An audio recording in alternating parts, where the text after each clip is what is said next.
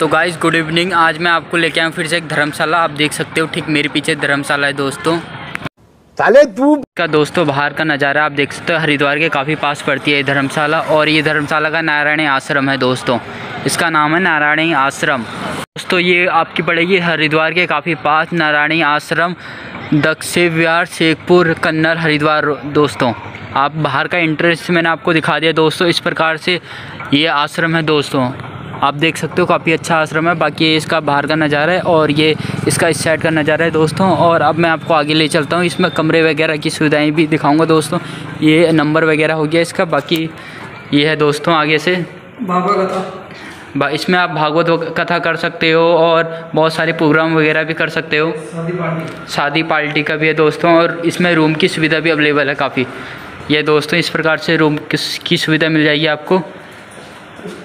ये दोस्तों इस प्रकार से रूम है। आपको रूम की सुविधा मिल जाएगी। अलग अलग ये दोस्तों आपको ये कंबल है, दो गद्दे हैं डबल डबल बेड है, खिड़की है, पंखा है और काफ़ी अच्छा है दोस्तों। और बाकी इस साइड भी है रूम वगैरह। पाँच छः रूम है दोस्तों। आपको इस साइड भी रूम मिल जाएँगे। तो यह है दोस्तों रूम वगैरह, इसमें भी कंबल है, गद्दा है लेटरिन बाथरूम मिल जाएगा दोस्तों। काफ़ी अच्छी फैसिलिटी है। यह दोस्तों अगर एक रूम और इसमें लेटिंग बाथरूम भी है दोस्तों गद्दा वगैरह इसमें ट्रिपल बेड है दोस्तों अलग अलग बाकी लेटिंग बाथरूम वो हो गया दोस्तों काफ़ी इस सज्जन को क्या तकलीफ़ है भाई? सुंदर है आप देख सकते हो। शीशा वगैरह है बाकी इस साइड से पीछे से भी है दोस्तों नज़ारा यहाँ से भी देख सकते हो आप। पार्क वगैरह भी इसमें पार्क की सुविधा भी है। अगर आप शाम को इवनिंग के समय आप पार्क वगैरह में भी जा सकते हो दोस्तों इस प्रकार से।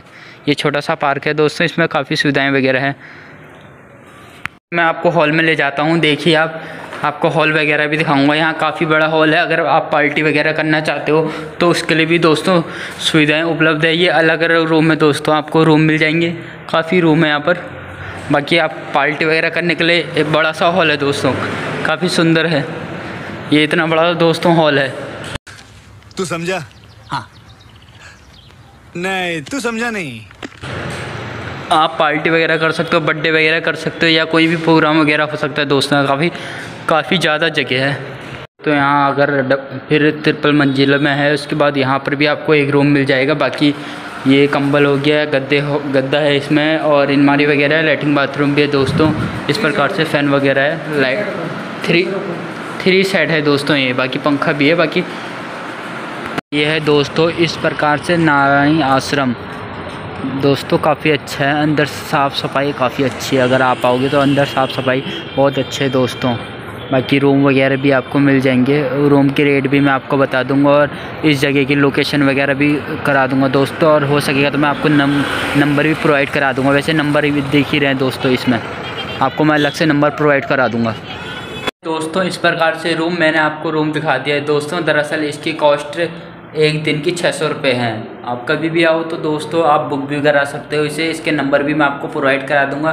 बाकी आप एक एक रूम में, चाहे चार जने छः जने, आठ जने, चाहे कितने जने भी हो, दोस्तों, एक रूम में रुक सकते हो। बाकी एक रूम का है दोस्तों छः सौ रुपये काफ़ी बढ़िया, अगर आप पाँच छः जने या सात, आठ जने भी इकट्ठा आ रहे हो तो एक एक रूम में दोस्तों सही है। एक रूम का छः सौ रुपये, अगर आप कितने भी जने हो तो दोस्तों, एक रूम का छः सौ रुपये बहुत अच्छी सुविधा है। छः सौ रुपये में दोस्तों, इससे बढ़िया सुविधा नहीं मिलेगी। बाकी रूम वगैरह काफ़ी साफ़ है। तो आप जब भी आओगे, आपको रूम अवेलेबल हो जाएगा। बाकी सुविधा वगैरह काफ़ी अच्छी है। लेटरिन बाथरूम है, इसमें बाकी सारी सुविधाएँ हैं। गद्दा है बेड है, चादर है, पंखा भी है और बिजली की भी काफ़ी अच्छी सुविधा है दोस्तों। आप आओ तो बहुत अच्छा है। बाकी रेट इसका छः सौ रुपये हैं। एक एक दिन का, चाहे वन नाइट हो या वन वन डे हो दोस्तों। एक नाइट के छः सौ रुपये या आप दिन अगर सुबह के वक्त में आते तो एक दिन के छः सौ रुपये काफ़ी अच्छा है दोस्तों। आप देख सकते हो मेरे सामने नज़ारा कितना अच्छा है दोस्तों।